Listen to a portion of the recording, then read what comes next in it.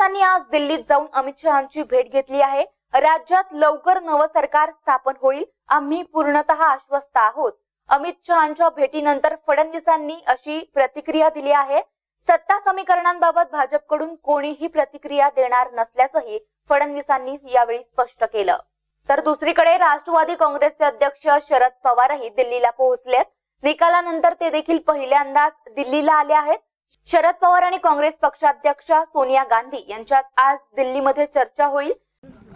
माननीय गृहमंत्री श्री अमितभाई शहा यांची आज मी भेट घेतली.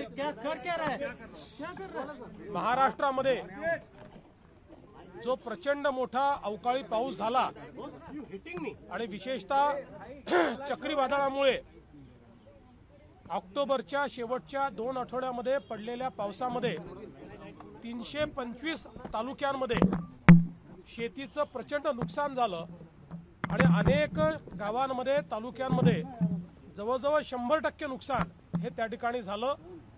आणि म्हणून एक अप्रत्याशित अशा प्रकारची परिस्थिती महाराष्ट्रात तयार झाली आहे. शेतकऱ्यांना मोठ्या प्रमाणात मदतीची आवश्यकता आहे.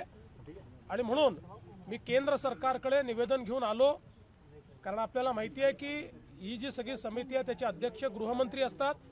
आणि म्हणून माननीय गृहमंत्र्यांची मी भेट घेतली. संपूर्ण डिटेल्ड असेसमेंट आता जे प्राथमिक असेसमेंट आमच्याकडे आलेलं आहे हे संपूर्ण डिटेल्ड असेसमेंट हे मी त्यांच्यासमोर ठेवलेलं आहे.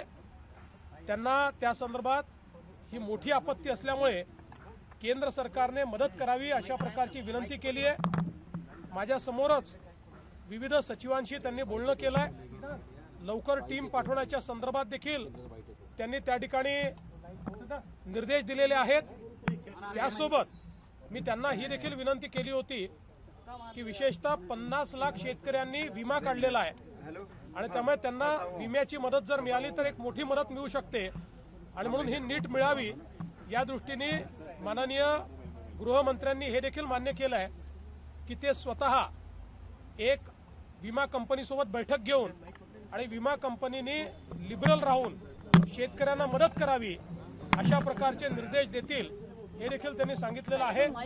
आणि केंद्र सरकारकडनं जी जास्तीत जास्त मदत करता येईल ती मदत करण्याचं देखील आश्वासन त्यांनी दिलं आहे